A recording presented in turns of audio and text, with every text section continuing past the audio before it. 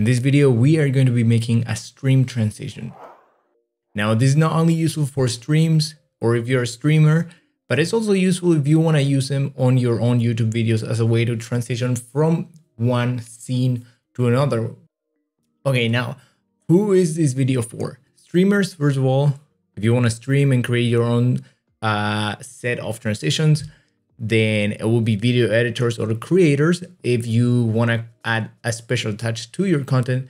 And third, if you like to build stuff and create templates and want to make money off of them, then this is a pretty cool way of doing so. If you already have an established audience in that space, could be useful, or marketplaces, uh, websites where you can sell your own templates and stuff that you build. Although the main thing is not about creating them. If you're creating them to sell, it's about the marketing part. So if you want, I could make a video of that since I do have templates, so I can talk about the marketing of that if you want me to.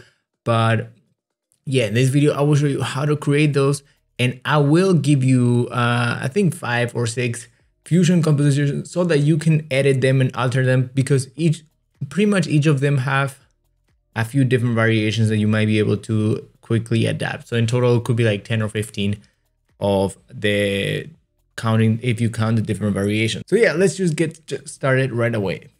So the first thing that we need to do is actually create a fusion composition. If you don't have already have one, I'm just gonna copy and paste this one here and we're gonna go into this one.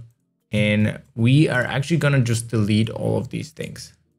In this case, I'm using an uploader node. So then you can easily add your own logo. If you wanna know about that uploader node, you can go, I do have another video of that. You can check it up there. Okay, now in this case, what we're gonna do is we are gonna build, build a little element that sort of closes in like curtains, I guess, from each side.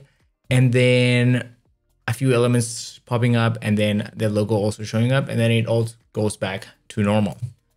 All right, add a background node first and also another one. Why are we gonna use two? Because we're gonna have two different sort of like folding areas. Then we're gonna add a rectangle mask and we're gonna increase the height to one and then bring the center to 0.25 for one side, for the left side. And then we're gonna bring, we're gonna copy and paste that rectangle there. Actually, I do have an idea. In order to make these faster, we're gonna use do the animation from one side first, and then we're gonna copy and paste that and then reverse it. So it's basically doing two things at once. Now for the we can actually change the color of these background if you want. You can change its type too. It's really up to you in this case. I'm just gonna use these sort of like, yeah, I'm gonna use this yellow one in this case. Now, okay, now that we have these, the thing first thing we need to do is we need to animate the position. For that, we're gonna click here, what is the center? And then at frame, let's say frame nine, since you don't want your stream transitions or your transitions at all to last way too long. So I would say, I would say usually you might be between a second and two.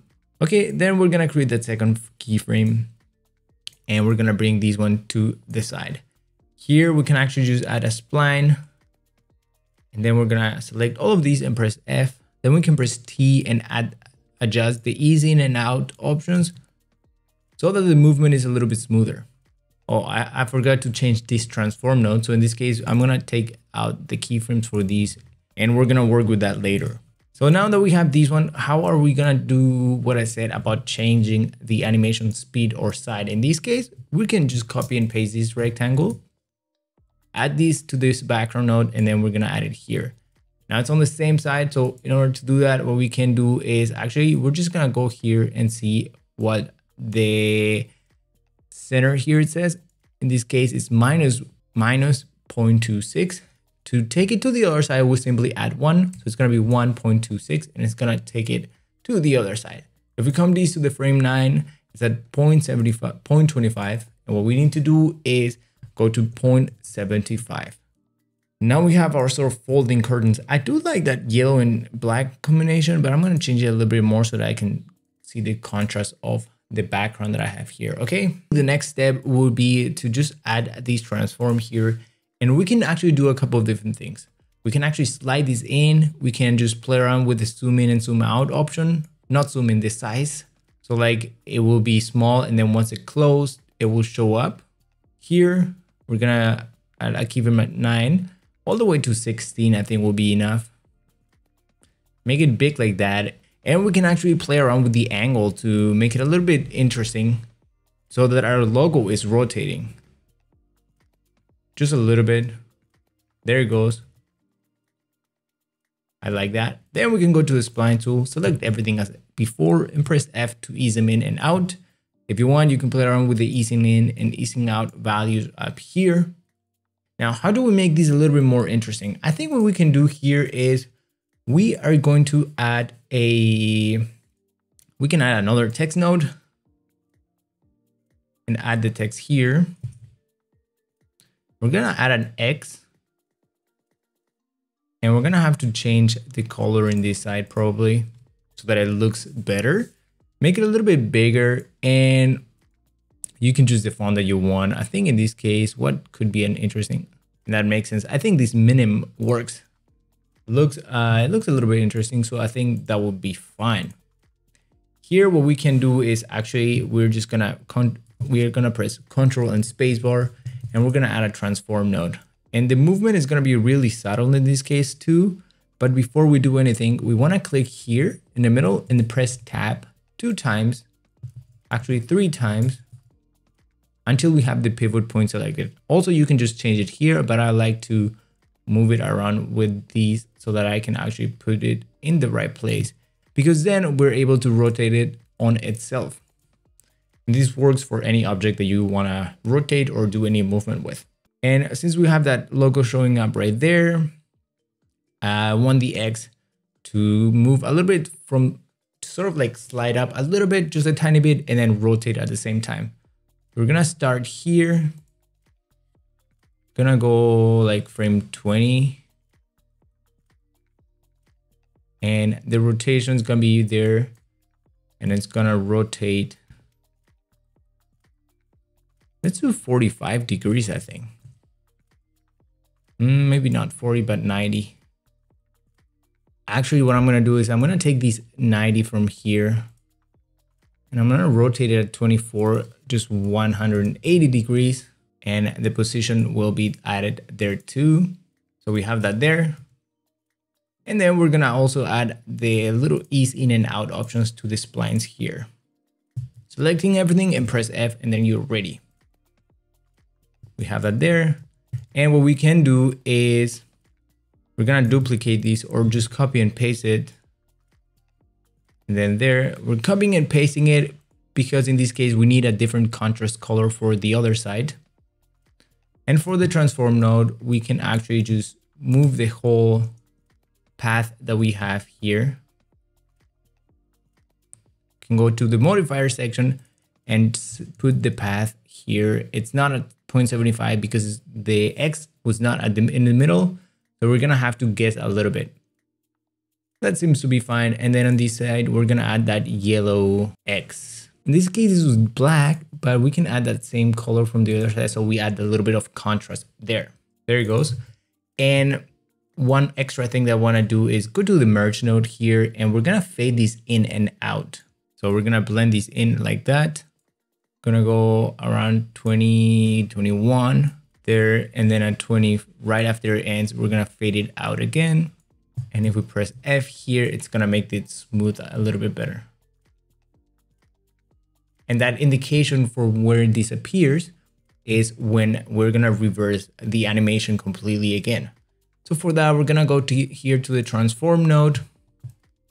Select everything. You can press F. I guess we didn't do that before. We're gonna start with the logo going backwards. We're gonna go here and choose reverse. It's gonna go out like that. And then right as it as it disappears here, we're gonna go to our rectangles with both of them selected. Press these here to so that you can see it on screen better.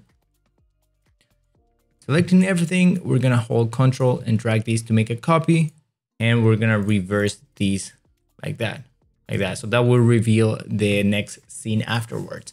Now, one last step that we want to do is we can go here to the settings and add a motion blur to the different elements that you want. This is really up to you if you like motion blur. Uh, if you don't like it, you don't have to do this. I like it sometimes, but I like it to be really subtle. there's one thing that you still have to do, and that is exporting these as a video with the transparent background. To do that, first we're gonna bring our transform or our fusion composition to the side here because we don't want to render the other side, the other things that are there. Go to the delivery page, and then with this fusion clip selected, we can right click up here and it says render clip, and that will just select this clip.